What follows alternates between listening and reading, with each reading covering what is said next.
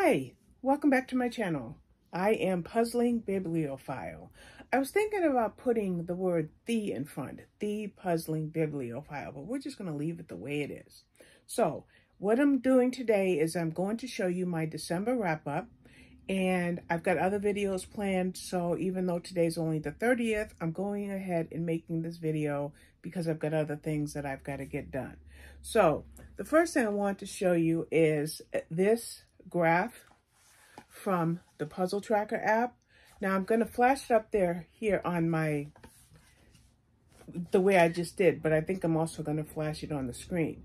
So when I look at this here, it tells me that I completed nine 500 piece puzzles, seven 1,000 piece puzzles, and four 750 piece puzzles, okay? My brands were Buffalo Games were the most at six, eeBoo with four, and the going down to the least was USAopoly with one, and there's others in there.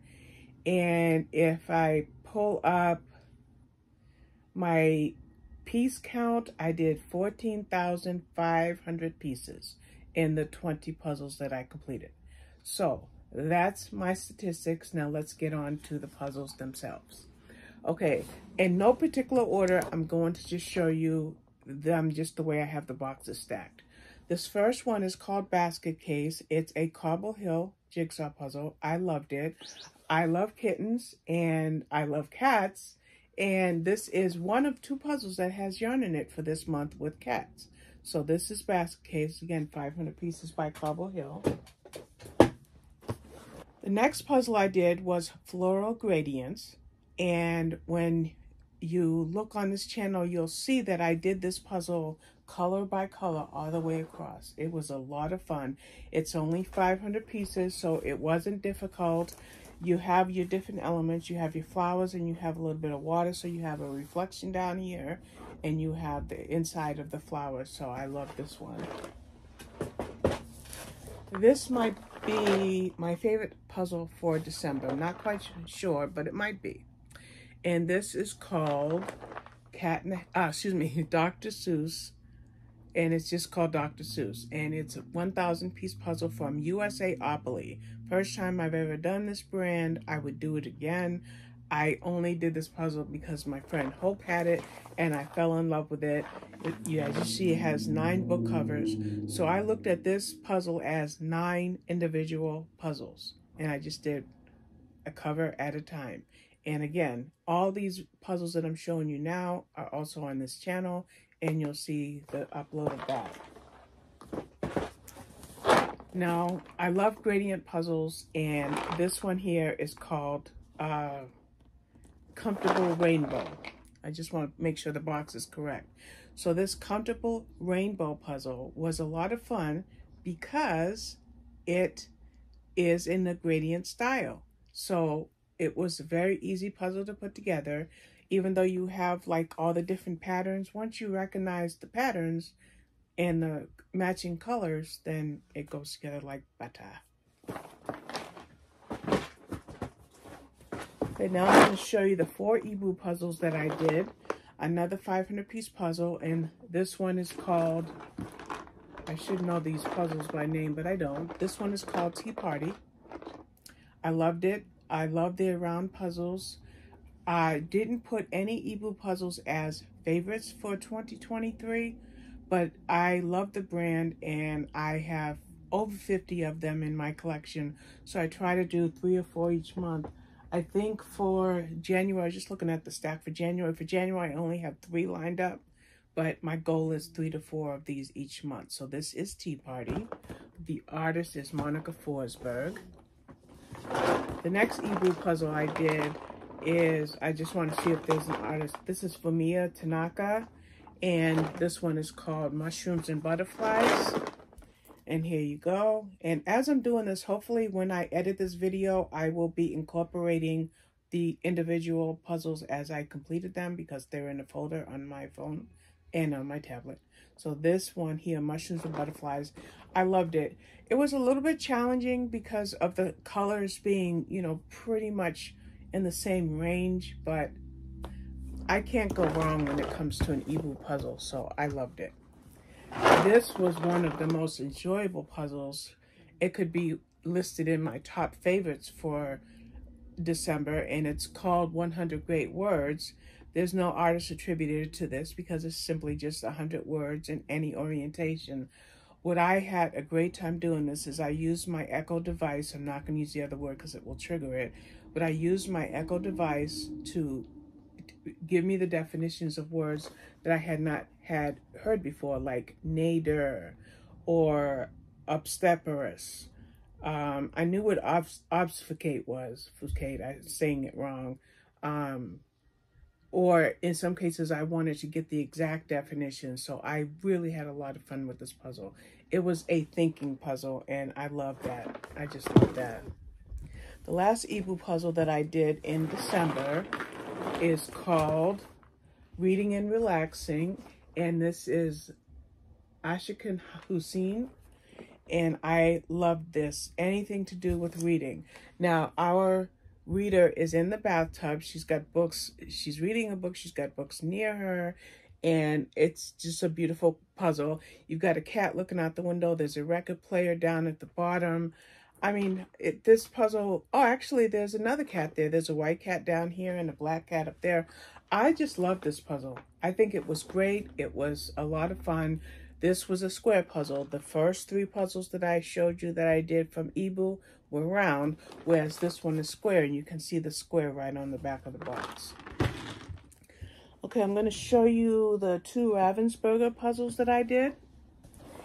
And this one here is called Apres All Day or apres ski and it is a winter scene in a ski cabin so after you're done skiing or between when you're taking a ski break you go and you have some hot chocolate you sit by the fire and that's what this is. It was a great puzzle. I really really enjoyed it. 500 pieces so it was very easy. The elements were very easy to ascertain the differences in, so it was a cool puzzle to put together.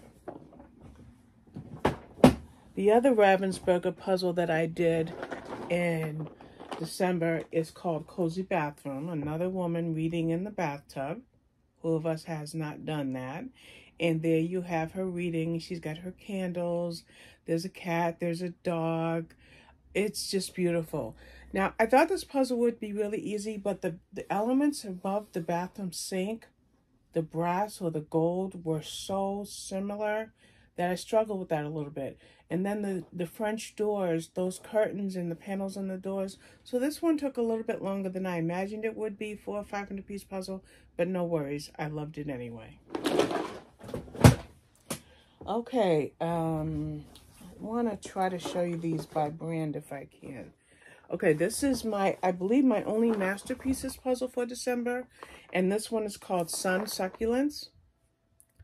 And I love this puzzle because it's a gradient puzzle. And goodness knows, I love gradient puzzles. I mean, in fact, I'm going to do a separate video on that in a few moments. But this was really fun. I did it obviously color by color. So I started with the red and the orange and then I worked my way up to here. So there's very little pink and very little blue, but there's a lot of red and orange and quite a bit of yellow.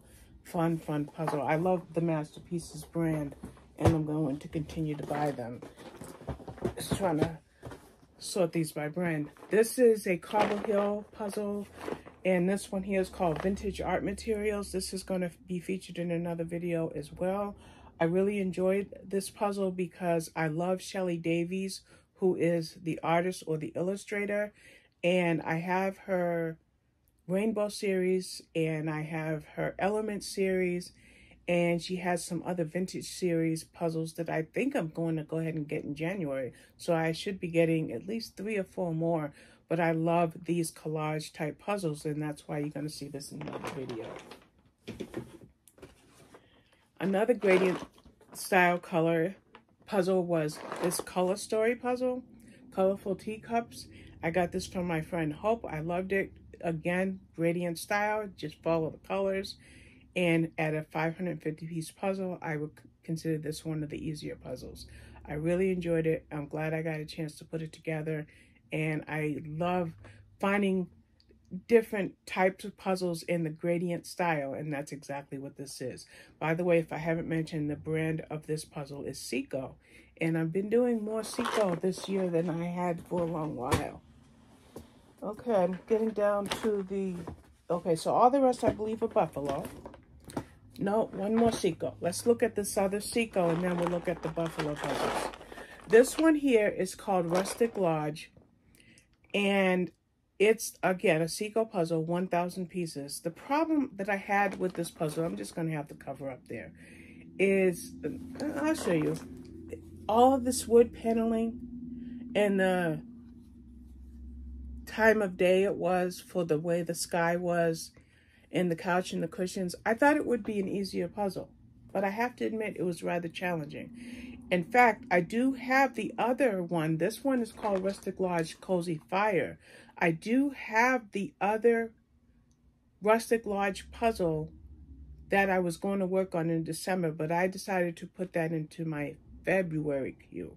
So you'll see one kind of similar to this in just a month or so, but you won't see it in January and you won't see it for this month of December. I could not do two of these in the same month. That the dark elements, you know, with winter blues and my depression, I just, this wasn't a favorite.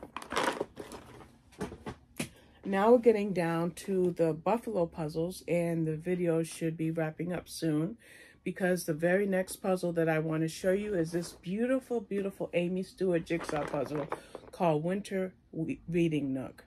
Anything to do with reading, I love. You've seen countless puzzles from me where there's books and cats, and this has books and it has cats and it has a beautiful sky and it was a breeze putting together. Yes, it was a bit challenging because of the the style of the puzzle itself, but I really enjoyed working on it and I was really glad to have a chance to get it done. I love Aimee Stewart. She's one of my absolute favorites. I'll save you two guys for last. Okay. Here's two. I did two Steve Read puzzles. This is Curiosity Shop Cat. I loved this one. This one was one of my easier puzzles for the month of December. Anything to do with cats, I love. Steve Read does beautiful cat puzzles, and I do have a couple more of his puzzles in my queue to purchase either in January or February. So this, again, is called Curiosity Shop Cat. The other Steve Read puzzle that I did was Comfy Spot. And remember uh, the basket case puzzle I showed you at first that had cats and yarn? Well, this has cats and yarn as well. I loved this puzzle. It was pretty easy to put together. Even though, like, when you see the cats and the colors in the cats, you would think that that would be a challenge. But once you did the balls of yarn in the top of the basket and the, uh, I can't remember what they are called when you crochet or knit uh, little toys, but when you see those, those, I was able to put those together, this together, and the balls of yarn together. So I didn't have a lot of craziness when it came to putting the cats together. Great puzzle. Plus this had some knitting needles, and with the knitting needles, it kind of helped to orient the pieces so you knew which way the pieces went when you worked on this one. The last three puzzles that I did for December are Charles Wysocki puzzles. And this is called Cocoa Break at the Copperfields. It's a 500 piece puzzle. I am going to stop the camera for one moment. Okay, the reason that I, there's a reason that I stopped the video, and I'm going to leave that in with the editing. This is Cocoa Break at the Copperfields, and you can tell that it's a winter scene, and it's a 500 piece puzzle, and it has five or six sleds in front, maybe eight. And then you have the cabin or the cottage with the snow on the roof and on the ground.